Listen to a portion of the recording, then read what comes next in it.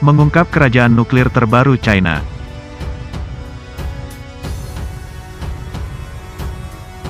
Bukanlah suatu hal rahasia lagi, beberapa negara dari belahan dunia berlomba-lomba mengembangkan senjata nuklirnya, di antaranya Amerika, Rusia, China, Iran dan Korea Utara.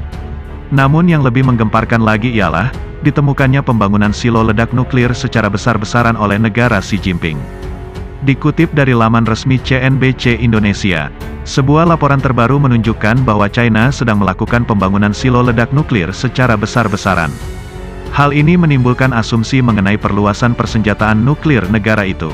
Laporan yang diterbitkan oleh Federasi Ilmuwan Amerika memberikan sebuah foto satelit yang menunjukkan citraan sebuah pangkalan rudal baru di wilayah Xinjiang, China pada yang dapat mencakup 110 silo ledak. Ini merupakan penemuan silo ledak kedua setelah sebelumnya ilmuwan juga menemukan citraan yang sama di provinsi tetangga Xinjiang. Ini adalah lapangan silo kedua yang ditemukan bulan ini oleh para peneliti, menambah 120 silo yang tampaknya sedang dibangun di provinsi tetangga Gansu, seperti yang dirinci oleh Pusat Studi Non-Proliferasi James Martin, dimuat CNN International, Kamis tanggal 28 Juli tahun 2021. Bersama-sama, kedua situs tersebut menandakan ekspansi paling signifikan dari persenjataan nuklir China yang pernah ada. Selama beberapa dekade, China telah mengoperasikan sekitar 20 silo untuk rudal balistik antar benua, ICBM, berbahan bakar cair yang disebut DF-5. Saat ini, FAS menyebut bahwa tampaknya Beijing akan membangun 10 kali lebih banyak yang diduga untuk menampung ICBM terbarunya, DF-41. Program silo rudal China merupakan konstruksi silo paling luas sejak konstruksi silo rudal Amerika Serikat dan Soviet selama Perang Dingin, kata laporan itu. Jumlah silo baru China yang sedang dibangun melebihi jumlah ICBM berbasis silo yang dioperasikan oleh Rusia, dan merupakan lebih dari setengah ukuran seluruh pasukan ICBM Amerika Serikat. Perkembangan nuklir ini telah membuat Washington khawatir. Pejabat Kementerian Pertahanan Amerika Serikat atau yang dikenal dengan Pentagon menyebut bahwa perkembangan nuklir China ini merupakan ancaman global yang sangat membahayakan.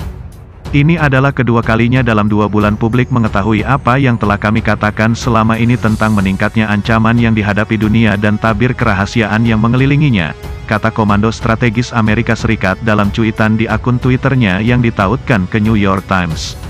Sebelumnya pada awal bulan lalu pihak Gedung Putih sendiri telah bersuara terkait pengembangan nuklir Beijing ini. Juru bicara Departemen Luar Negeri Ned Price menganggap bahwa perkembangan itu sangat mengkhawatirkan. Laporan-laporan ini dan perkembangan lainnya menunjukkan bahwa persenjataan nuklir RRC akan tumbuh lebih cepat, dan ke tingkat yang lebih tinggi daripada yang mungkin diantisipasi sebelumnya, kata Price menggunakan akronim untuk Republik Rakyat China. Penumpukan ini mengkhawatirkan, ini menimbulkan pertanyaan tentang niat RRC. Dan bagi kami, ini memperkuat pentingnya mengejar langkah-langkah praktis untuk mengurangi risiko nuklir. Washington diketahui telah berulang kali meminta China untuk bergabung dengannya dan Rusia dalam perjanjian kontrol senjata baru. Namun pada bulan Mei lalu dilaporkan bahwa Beijing menolak usulan ini. Negeri tirai bambu berdalih bahwa kemampuan persenjataannya telah dikerdilkan oleh Amerika Serikat dan Rusia. Meski begitu pihak China mengaku tetap siap untuk melakukan dialog bilateral, berdasarkan kesetaraan dan rasa saling menghormati. Hingga kini belum ada konfirmasi atau bantahan China soal temuan baru ini.